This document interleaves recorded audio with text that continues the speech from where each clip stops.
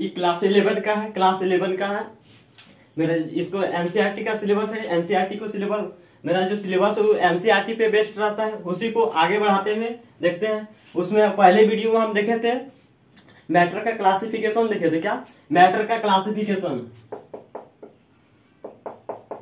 क्या मैटर का classification matter का क्लासिफिकेशन दो तरह से कर सकते हैं। पहले भी बताए हैं। एक physical classification physical classification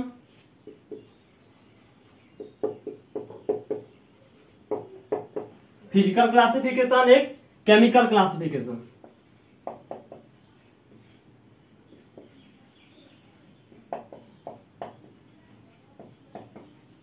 क्या एक फ़िज़िकल क्लासिफिकेशन एक केमिकल क्लासिफिकेशन तो फ़िज़िकल क्लासिफिकेशन के बारे में हम पहले वीडियो में पढ़ा चुके हैं। इसमें क्या क्या पढ़ाए थे? Solid solid what is solid solid का टाइप कितना है? सॉलिड का प्रॉपर्टी सारा चीज़ पढ़ा दिए थे। और क्या पढ़ाए थे? लिक्विड और क्या पढ़ाए थे? गैस ये सब के बारे में फ़िज़िकल मैटर का ये क्या है? फ़िज़िकल क्लासिफिकेशन ये सब के बारे में हम पढ़ा चुके हैं। ये सब के बारे में पहले वीडियो में पढ़ा चुके हैं। ये क्या है? मैटर का फ़िज़िकल क्लासिफिकेशन अब क्या पढ़ना है? मैटर का केमिकल क्लासिफिकेशन अब मैटर का क्या पढ़ना है? केमिकल क्लासिफिकेशन केमिकल क्लासिफिकेशन में किसको किसको रखेंगे? क्या? केमिकल क्लासिफिकेशन में किसको किसको रखेंगे? तो देखो क्या? केमिकल क्लासिफिकेशन में किसको किसको रखेंगे? देखो, कोई भी मैटर का केमिकल क्लासिफिकेशन करेंगे, क्या? ये तो पढ़ा चुके हैं। तो आप क्या मैटर का केमिकल क्लासिफिकेशन करेंगे?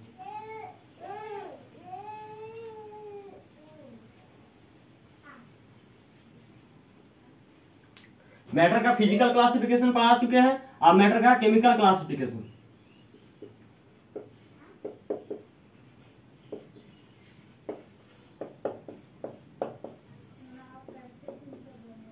क्या?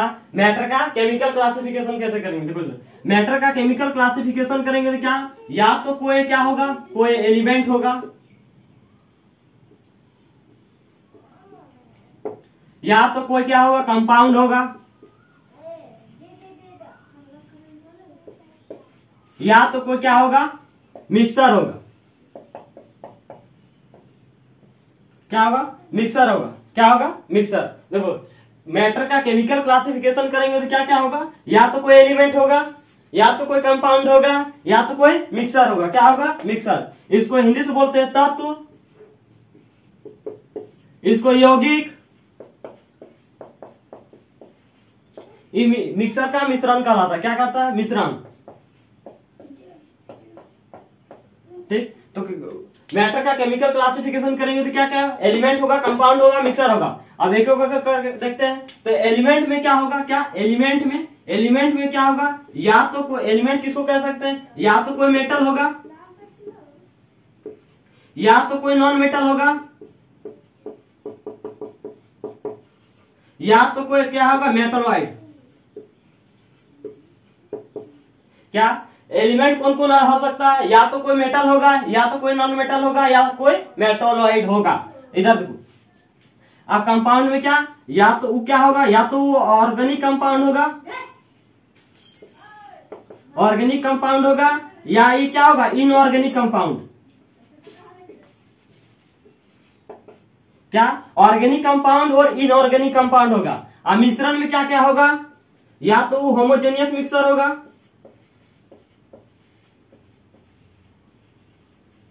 होमोजेनियस मिक्सर होगा। या क्या होगा? Heterogeneous mixture.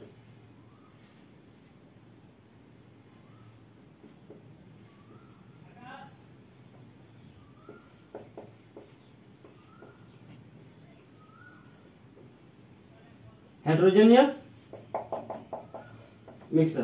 क्या होगा? देखो तो मैटर का केमिकल क्लासिफिकेशन किए तो उसमें क्या होगा? कोई कोई एलिमेंट होगा तो कोई कंपाउंड होगा तो कोई क्या होगा? मिक्सर अब देखो एलिमेंट क्या क्या हो सकता है? एलिमेंट का क्या, कोई या मेटल हो सकता है, या कोई नॉन मेटल हो सकता है, या कोई मेटलॉइड हो सकता है। कंपाउंड कौन कौन हो सकता है? या तो ऑर्गेनिक कंपाउंड या तो इनऑर्गेनिक कंपाउंड मिक्सर पे क्या क्या हो सकता है? हेमोजेनियस मिक्सर हो सकता है, या हाइड्रोजेनियस मिक्सर हो सकता है? अब एक करके सबको पढ़ेंगे। देखिए, देखो, ये जो एलिमेंट और कंपाउंड लिखे ना, इसको बोलते हैं प्योर सबस्टांसेस क्या? ये दोनों को क्या बोलते हैं? प्योर सबस्टांसेस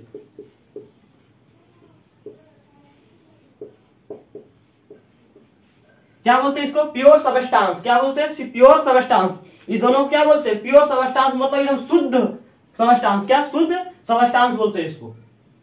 तो आप पहले देखेंगे प्योर सबस्टांस किसे कहते हैं? उसके बाद देखेंगे एलिमेंट किसे कहते हैं? फिर देखेंगे एलिमेंट में मेटल है तो मेटल किसे कहते हैं उसके बाद नॉन मेटल किसे कहते हैं उसका मेटल की मेटलॉइड किसे कहते हैं फिर कंपाउंड किसे कहते हैं फिर इन ऑर्गेनिक कंपाउंड किसे कहते हैं इनऑर्गेनिक कंपाउंड किसे कहते हैं मिक्सर किसे कहते हैं फिर हेमोजेनियस मिक्सर किसे कहते हैं हेट्रोजेनियस मिक्सर किसे कहते हैं सबको एक करके देखेंगे तो पहले देखो पहले क्या देखना होगा प्योर सबस्टांस क्या प्योर सबस्टांस किसे कहते हैं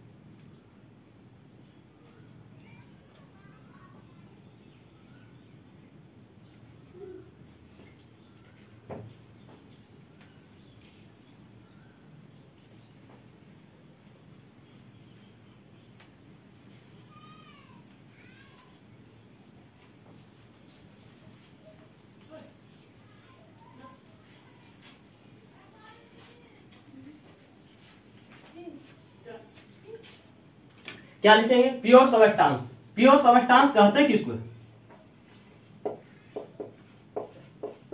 प्योर सबस्टांस कहते हैं किसको? तो लिखेंगे क्या? The matter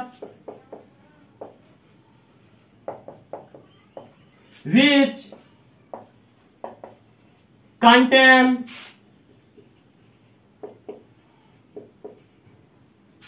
only one kind of particles. देखो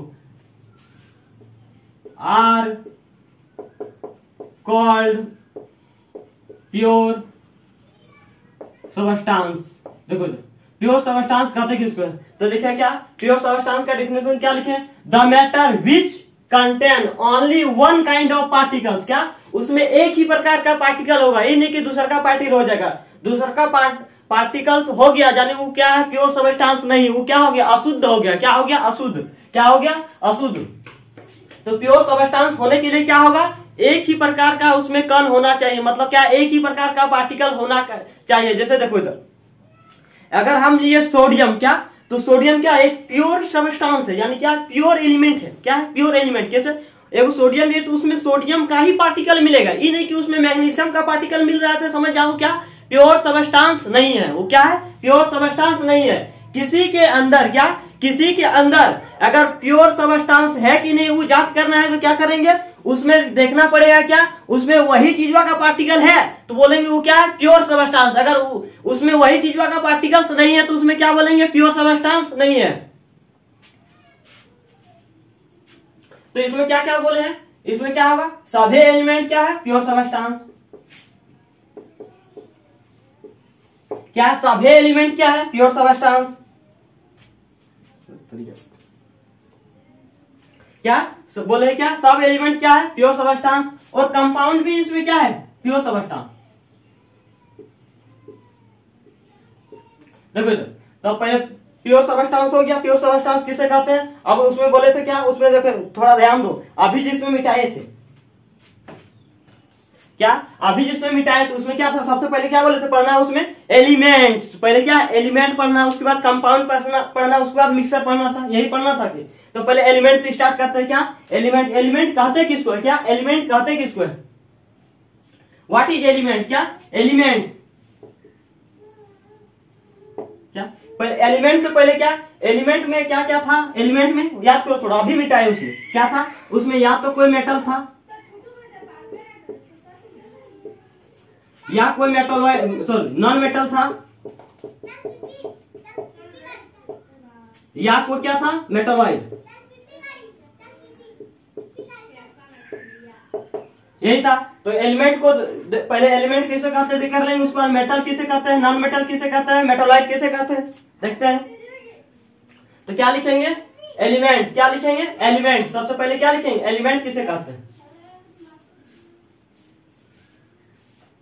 एलिमेंट लिखेंगे क्या? एलिमेंट किसे कहते हैं? तो बोल रहे हैं कि इट इज़ ये क्या है? एक pure substance it is a pure substance क्या है? ये प्योर सबस्टांस मतलब जो शुद्ध पदार्थ है। क्या है? शुद्ध शुद्ध पदार्थ है, ठीक? उसका देखो। उसका देखो। इधर क्या है? ये शुद्ध है। और क्या है? ये सकता है। इसको ना एंड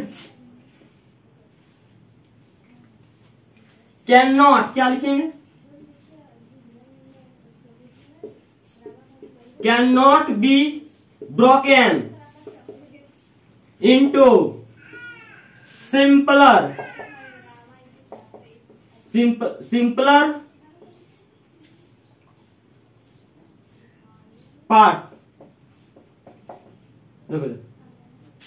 is called element इसको नहीं लिखना देखो इतने ही देखो देखो एलिमेंट होता क्या है? क्या एलिमेंट? तो बोल रहा है इट इज़ प्योर सबस्टेंस पहला बात क्या है? प्योर सबस्टेंस है। एलिमेंट जितना भी एलिमेंट है, क्या? एलिमेंट कितना एक सौ अठारह भी है जो ना, एक सौ अठारह। एक सौ अठारह क्या है? एक प्योर सबस्टेंस है। और उसको क्या? उसको ना, तुम दो हिस्सा में नहीं तोड़ सकता है, क्या? वही लिखे। Can not be broken into simpler part इसको सिंपलर पार्ट मतलब क्या? सरल पार्ट में इसको विभाजित नहीं कर सकते। क्या इसको सरल पार्ट में विभाजित कर सकते हैं? इसको सरल पार्ट में विभाजित नहीं कर सकते। तो एलिमेंट में क्या आया था? सबसे पहले मेटल क्या? मेटल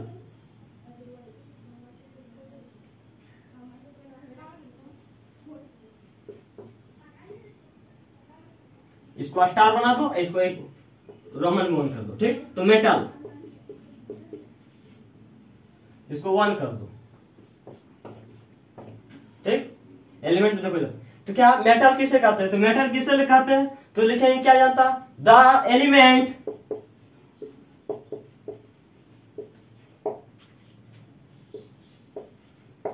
विच कैन जो मेटल होता है, क्या? वो इलेक्ट्रॉन को दान कर देता है कि ग्रहण कर लेता है?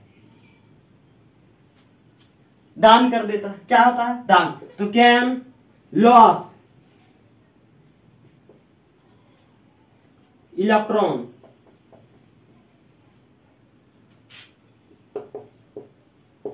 is called metal क्या लिखे हैं? The element which can lose electron is called metal वही एलिमेंट को मेटल बोलेंगे क्या? वही एलिमेंट को मेटल बोलेंगे। जो इलेक्ट्रॉन को, क्या? जो इलेक्ट्रॉन को दान करता हो, वही को क्या क्या बोलेंगे? मेटल क्या? मेटल किसे कहेंगे? जो इलेक्ट्रॉन दान करेगा, जो एलिमेंट इलेक्ट्रॉन दान करेगा, उसी को मेटल कहेंगे। देखो।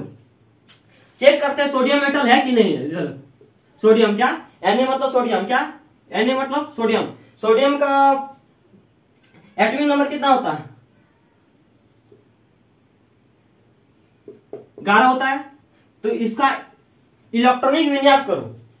तो पहला कक्षा में कितना रहेगा? दो। दूसरा का कक्षा में कितना रहेगा? आठ।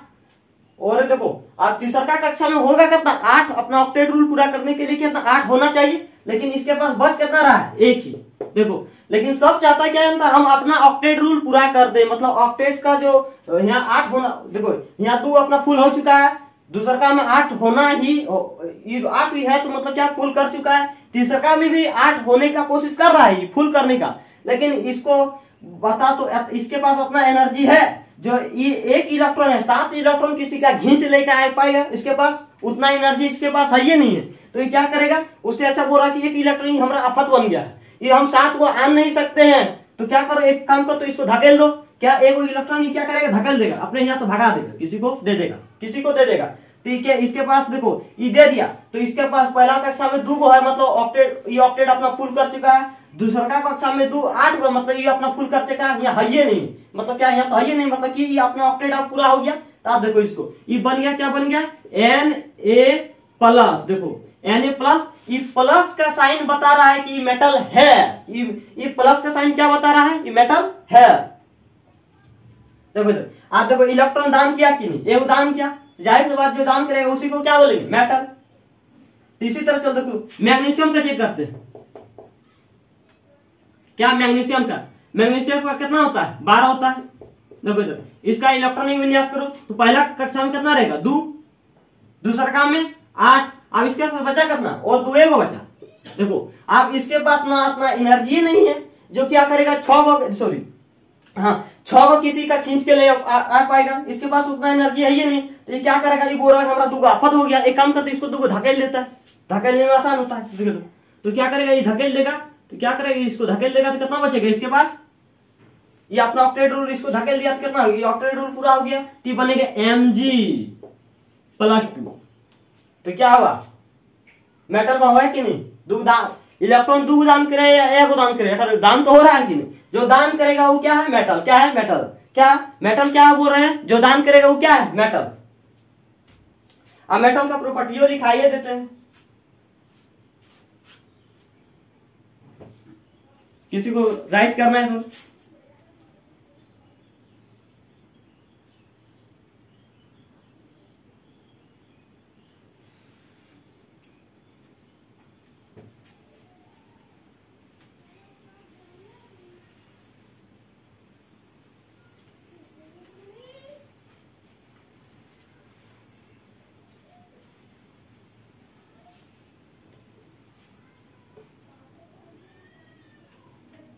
मेटल का properties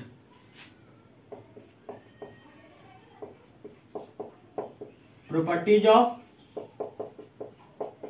metal properties of metal तो पहला बात क्या होता? है इट क्या? Metals are hard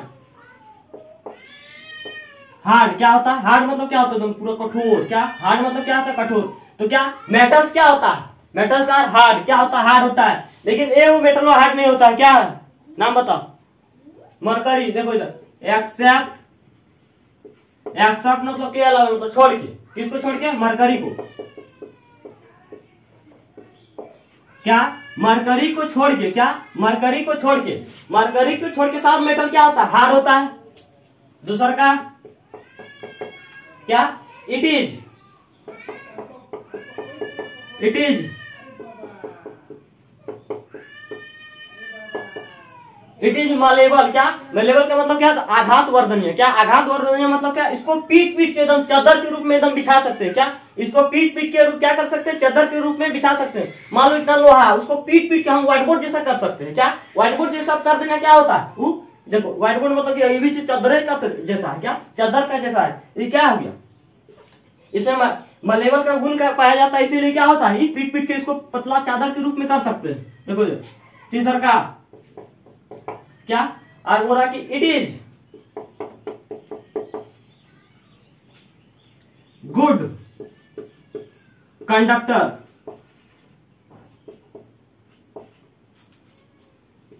of heat and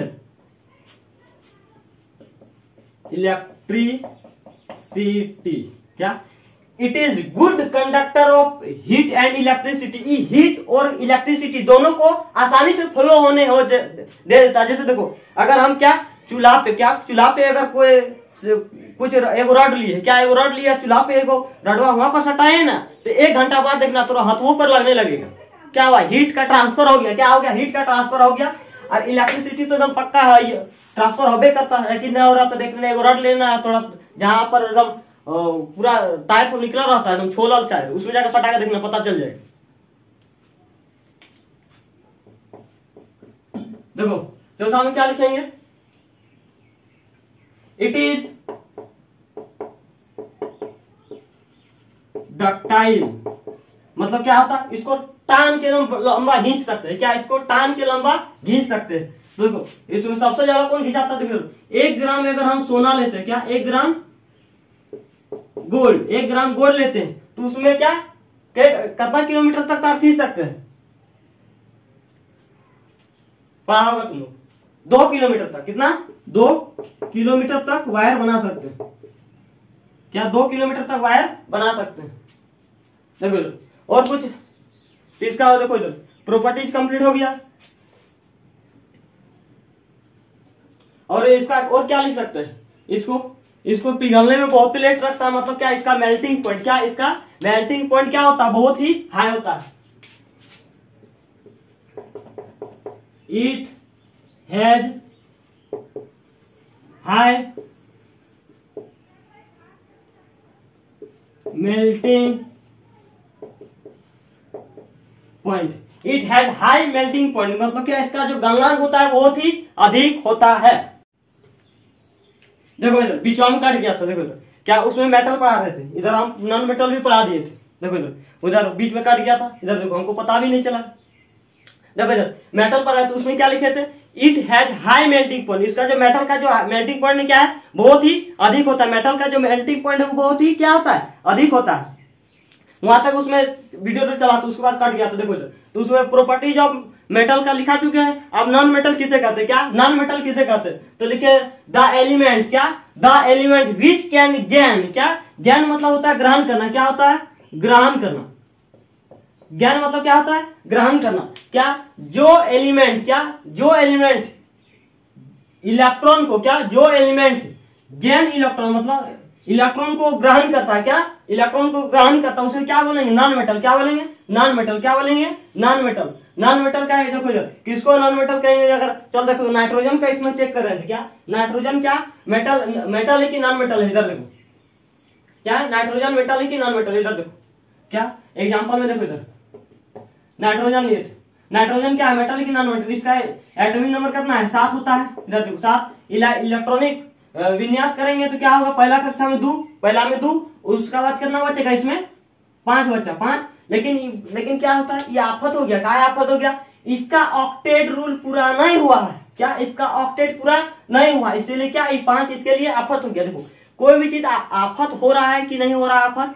सीधा सीधी सोचो, जो कक्षा में जो वो जो वो इलेक्ट्रॉन उस कक्षा में उतना इलेक्ट्रॉन है तो आफत नहीं। तनियों से ज़्यादा होगा, कम होगा तो आफत मचा देगा। देखो इधर तो इसमें आफत हो चुका है। क्या आफत हो चुका है? इसमें बोल रहा क्या अंता है या तो तुम पाँच को भाड़ा दो, या तो तुम तीनों हमको दे दो। तब हम बैठल रहे। नहीं तो ये आफत लेके हम बैठल नहीं रहेंगे। देखो इधर तो देखो, इसको देखो, पाँच को अगर भगाना है तो नाइट्रोजन के पास उतना एनर्जी नहीं है कि पाँच को भगा सके। उतना एनर्जी नहीं है। तो एक काम करते, तीनों किसी का वाला घींच लेते। उससे आसान है। तो तीनों किसी का वाला घींचेगा। तीनों इलेक्ट्रॉन किसी का वाला घींचेगा। ठीक है? तीनों इलेक्ट्रॉन किसी का वाला घींच लिया। तो यहाँ कितना हो गया? आठ। अब ऑक्टेट पूरा हो गया, अब शांत से बैठल रहेगा। देखो तो नाइट्रोजन क्या हो गया? ये नाइट्रोजन तीनों किसी का वाला घींच लिया। मतलब ये ऋण में है मतलब क्या? ये नेगेटिव में है।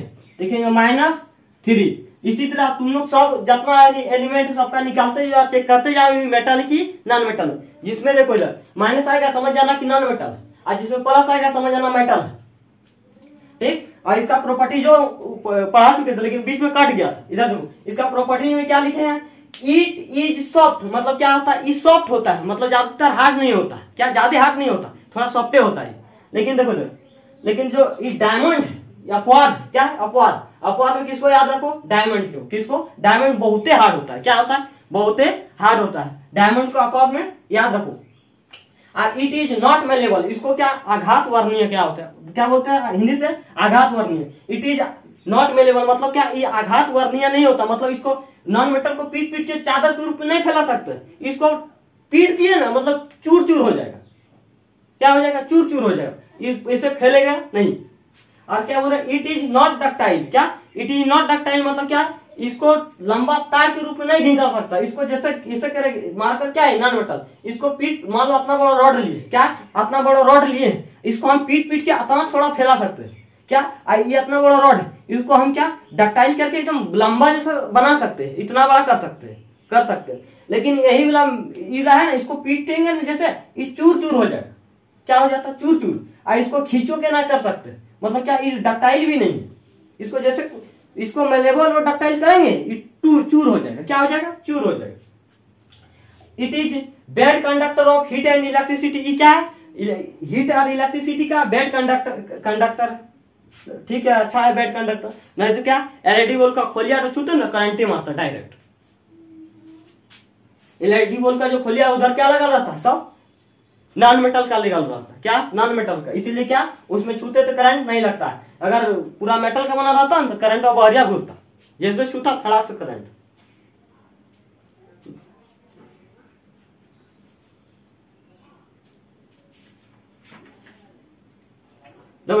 तो मेटल नॉन मेटल हो चुका है। अब नेक्स्ट बारी मेटल वाइट का।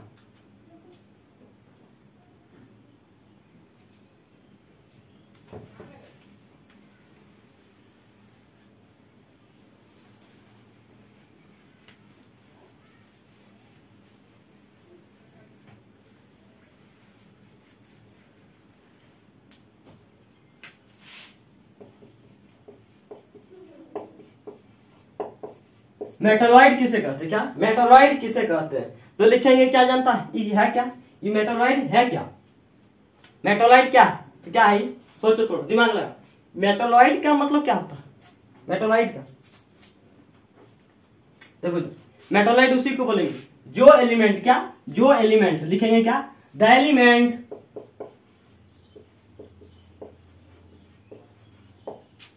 Which can. क्या? मेटोलॉइड देखो मेटोलॉइड किसे कहते हैं? लिखे the element which can show property of metal and non metal ये क्या? ये जो मेटल जो मेटोलॉइड है, ये क्या? ये मेटोलॉइड दोनों का गुण दिखा देता है। कभी मेटल का भी दिखा देता है, कभी नॉन मेटल का भी दिखाता है। ये मल्टी टैलेंटेड है देखो। जो मेटल और नॉन मेटल का दोनों का गुण दिखाएगा, वो क्या बोलेंगे? मेटोलॉइड क्या बोलेंगे? मेटोलॉइड इधर देखो। मेटोलॉइड किसको तो देखो इधर। मेटोलॉइड समझ में आ गया? देखो इधर। एग्जांपल में क्या लिख सकता है? लिख सकता है, है? ऐसा ही सिलिकॉन और जर्मेनियम तो इधर देखो।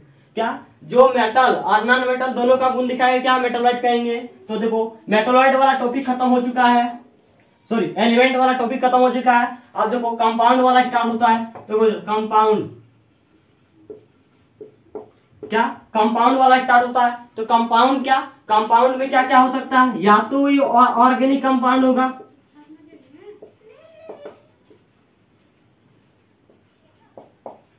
क्या ऑर्गेनिक कंपाउंड होगा? या क्या होगा? इनऑर्गेनिक कंपाउंड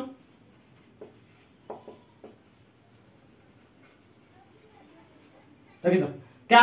ऑर्गेनिक कंपाउंड होगा या क्या होगा? इनऑर्गेनिक कंपाउंड देखो इधर। तो इसमें क्या?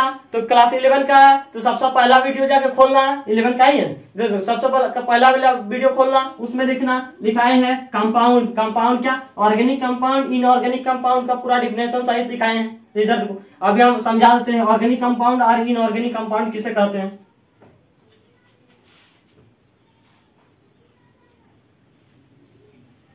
उसमें कंपाउंड का डिफिनेशन नहीं लिखाए थे। देखो कंपाउंड का डिफिनेशन अभी लिखा देते हैं।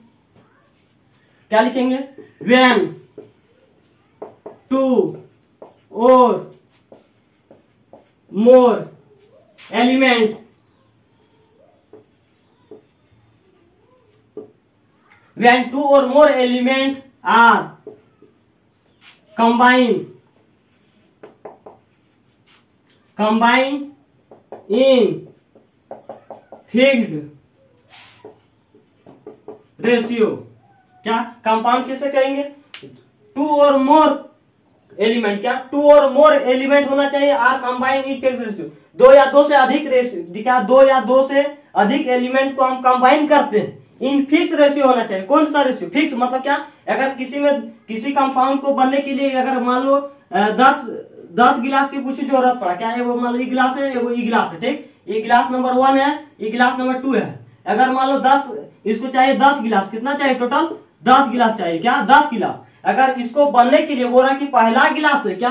पहला गिलास से अगर हमको दो गिलास चाहिए, जो भी सामान, उसको दो गिलास चाहिए, और दूसर का गिलास से हमको अगर कितना? आठ गिलास चाहिए, तभी हम बनाएँगे जो कंपाउंड बनना है वो कंपाउंड क्या? जो कंपाउंड हमको बनाना है, उसमें क्या हमको दस गिलास का ज़रूरत और दस गिलास में भी फिक्स है कि हम पहला वाला गिलसा से दो गिलास लेंगे। और दूसर का आठ गिलास लेंगे, तभी कंपाउंड बनेगा। नहीं तो दूसर का जो ज़्यादा बेसी को मिला दिए मतलब दूसरा कुछ बन जाएगा, दूसरा कुछ बन जाएगा। इधर देखो तो कंपाउंड क्या होता है? ये फिक्स होता है कि इसमें इतना मिला, इसमें इतना मिला, तभी हम इसको बोलते हैं फिक्स रेशियो कौन सा रेशियो फिक्स रेशियो अब ऑर्गेनिक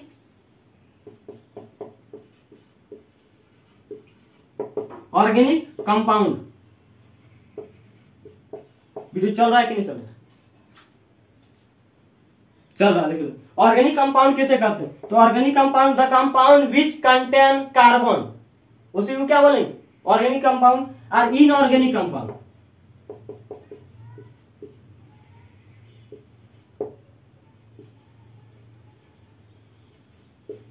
इनऑर्गेनिक कंपाउंड क्या?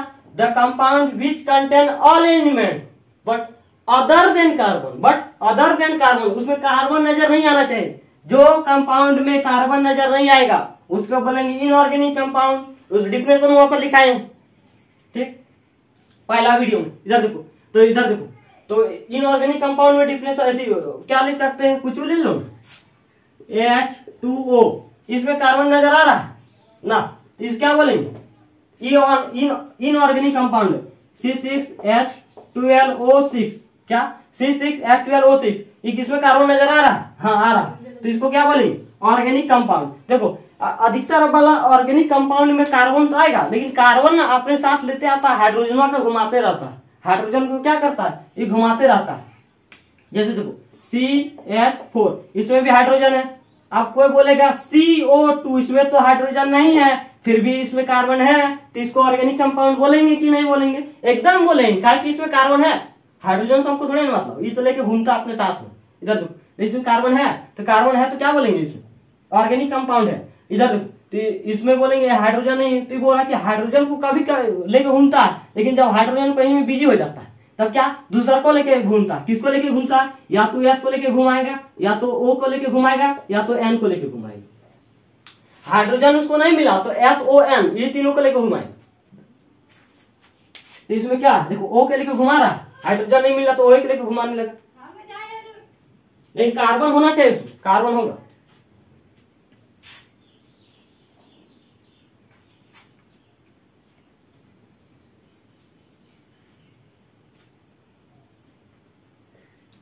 देखो कंपाउंड वाला तो एलिमेंट वाला भी सब खत्म हो गया, कंपाउंड वाला भी सब खत्म हो गया। आप किसमें जाएँगे? मिक्सर वाला में, क्या? मिक्सर वाला में।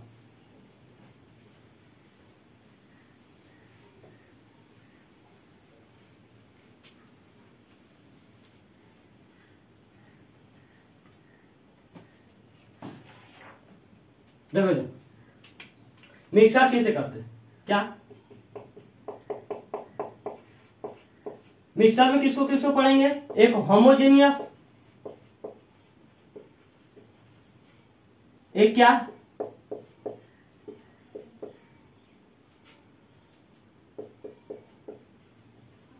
हेट्रोजेनियस मिक्सर में क्या है? होमोजेनियस मिक्सर मिक्सर भी दो तरह के देखेंगे। होमोजेनियस मिक्सर हेट्रोजेनियस मिक्सर पहले मिक्सर किसको कहते हैं, उसको देख लेते हैं। क्या? मिक्सर क्या? मिक्सर कैसे करते हैं? तो लिखे मिक्सर का मतलब समझ होता है। मिक्सर से देखो एगो मिक्सर आता है पोलोथीन भरल उसमें क्या आता है? जैसे मन तैसे मिला रहता है, चारों गट क्या तो चारों कुछ कुछ मिला रहता है। निमकी कुछ कुछ मिला रहता है, कुछ बादाम रहता है। तो क्या जैसे मन तैसे है, उसमें फिक्स रेशियो कुछ नहीं है। उसमें कुछ फिक्स नहीं है। उसमें क्या जैसे मन तैसे लिखेंगे तो लिखेंगे, इसमें क्या लिखेंगे? The combination of combination of two two और more components in any ratio is called mixture mixture किसको कहेंगे? देखो, कोई भी दो दो क्या लेते हैं? कोई भी दो कंपोनेंट लेते हैं। उसको क्या दो या दो से अधिक कंपोनेंट लेते हैं? उसको कॉम्बिनेशन करते हैं मतलब मिलाते हैं। इन एनी रेशियो कोनो रेशियो मिला दो। कोनो में चार गिलास, कोनो पाँच गिलास, छह गिलास तुमको मन करो उसमें मिला दो। उसको क्या बोलते हैं? मिक्सर किसी तरह भी मिला दो। क्या हो गया? मिक्सर किसी तरह भी मिला दो, क्या हो गया? मिक्सर देखो इधर। क्या? किसी तरह भी मिला दो क्या होता है? मिक्सर देखो इधर। मान लो कुछ कुछ लिए मान लो यहाँ पर कुछ लिए, यहाँ पर भी कुछ लिए और यहाँ पर भी कुछ लिए। इसको मिला दिए। क्या एगो मिला दिए। एगो मिक्सर तैयार कर दिए। कोनो मतलब नहीं, कौन वाला कितना डालना है, कोई दिए कुछ लगा दो। क्या हो गया मिक्सर बन गया। अब मिक्सर क्या? मिक्सर में क्या होता है? होमोजेनियस मिक्सर हो हेट्रोजेनियस मिक्सर देखो तो होमोजेनियस मिक्सर हो हेट्रोजेनियस मिक्सर क्या? होमोजेनियस मिक्सर में क्या देखे? क्या? द मिक्सर क्या? The mixture in which properties are uniform क्या? Properties are uniform is called is called homogeneous mixture is called homogeneous mixture homogeneous mixture में क्या लेंगे चीनी लिए और पानी लिए। पर घोल दिए। क्या? पर पकड़ के घोल दिए। तो जो मिक्सर बना, क्या? वो जो मिक्सर बना, वो मिक्सर बनने के बाद उसमें चीनी दिख रहा है? नहीं दिख रहा है। जिसमें क्या? घूमने के बाद उसमें और नहीं दिखेगा। उसको क्या बोलेंगे? होमोजेनियस मिक्सर मतलब क्या? उसमें पूरी तरह से घुल चुका है। पूरा तरह से घुल सकता है, उसको क्या बोलेंगे? होमोजेनियस मिक्सर आज देखो, जिसमें पूरा तरह से नहीं घुला, क्या लिखे? The mixture in which properties are not uniform क्या? आर नॉट इसी में खाली नॉट लगा दो, क्या हो गया? हेट्रोजन देखो नॉट यूनिफॉर्म मतलब क्या? उसमें पूरा अच्छा से घुलम नहीं है। उसमें पूरा अच्छा से घुलबे नहीं करेगा। घुलबे नहीं करेगा पहला। तो उसको क्या बोलेंगे? हेट्रोजेनियस उसमें घोलने के बाद दिखेगा। जैसे देखो, बालू लिए, क्या? बालू सैंड मतलब बालू। और पानी लिए, घोल दिए तो मिक्सर बना। क्या बना एक मिक्सर बना। मिक्सरवा क्या? बन जाएगा इसमें। बालू तो दिख रहा है, क्या कि पानी और बालू तो कभी घोलबे नहीं करेगा। तो उसमें क्या दिख रहा? है तो किसमें जाएगा? हेट्रोजेनियस मिक्सर किसमें जाएगा? हेट्रोजेनियस मिक्सर तो मिक्सर समझ में आ गया? मिक्सर क्या? मिक्सर में कुछ तो किस, मिला दो किसी तरह कोई मतलब नहीं है। मिक्सर का मतलब क्या? कोई मतलब नहीं। किसी तरह मिला के तुम बना दो। मिक्सर का मतलब क्या होता है? किसी तरह तुम मिला कर बना दो। मिक्सर का लाएगा देखो मिक्सर में भी दूसरा का होता है? होमोजेनियस मिक्सर क्या देखे तो एक जैसा खुल गया। और क्या? हेट्रोजेनियस मिक्सर एक जैसा उसमें घुलबे नहीं क्या। क्या? उसमें घुलबे नहीं क्या। जो नहीं घुलेगा। एक जैसा नहीं घुलेगा। उसको हेट्रोजेनियस मिक्सर जो एक जैसा घुल जाएगा उसको होमोजेनियस मिक्सर कौन सा mixture homogeneous mixture homogeneous homo का मतलब होता है एक जैसा। होमो का मतलब क्या? एक जैसा दम घुल गया एक जैसा घुल गया तो होमोजेनियस और ना घुला तो हेट्रोजेनियस क्या? हेट्रोजेनियस देखो इधर। जैसे देखो, एगो अरहर का डाल लिया मूंगूर का डाल लिया, उसको मिला दिया। अभी तक पानी नहीं डाले, अभी मिला रहे मिला दिए। आप बताओ तो कौन सा मिक्सर बना? अभी तक पानी तानी कुछ नहीं डाले। ऐसे ही रखे। तो क्या? देखो, अरहर का दाल और मूंगूर का दाल दिखे रहा है तो अभी क्या ये हेट्रोजेनियस मिक्सर क्या? हाइड्रोजेनियस मिक्सर किसमें जाएगा? हेट्रोजेनियस मिक्सर जैसे उसमें पानी डाल दिए और चूल्हा पे लगा दिए, अब उसके बाद तो खोजो तो थोड़ा, कौन वाला? तो किसमें चल गया? होमोजेनियस आप कौन को? वो अरहर का दाल और मूंगूर का दाल खोजो तो अलग कर पाएगा, नहीं कर पाएगा। क्या उसमें पूरा अच्छा से घोल दिए के उसको क्या? चूल्हा में लगा के पूरा अच्छा से घोल दिए। तो किसमें चल गया? होमोजेनियस मिक्सर किसमें चल गया? होमोजेनियस मतलब क्या इसमें एक बात नोटिस हुआ? इसका क्या? हेट्रोजेनियस मिक्सर में क्या? ज़्यादातर हेट्रोजेनियस ज़्यादातर का बात कर रहे हैं सभे का नाम। इधर ज़्यादातर में क्या? हेट्रोजेनियस मिक्सर को पानी में मिला दो और में दो तो देखो हेट्रो होमोजेनियस मिक्सर बन जाए देखो तो क्या ये इलेवन का था? आज के लिए इतना ही रहने दो। फिर नेक्स्ट वीडियो आने ही वाली है। इधर देखो। तो इसमें क्या? तब तक के लिए क्या? जय हिंद।